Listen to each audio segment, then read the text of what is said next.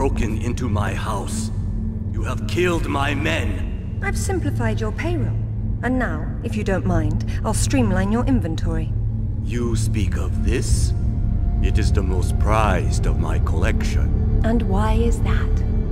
I am fond of recovering objects from dead Englishmen. In this case, one of your crusaders. Some have even said the warmonger was one of your King Arthur's knights. I do not know how the fool came by it, for it is clearly far older than the 11th century, when your people lived in huts of mud. And for this reason, you'd rather die than hand it over. No. For this one!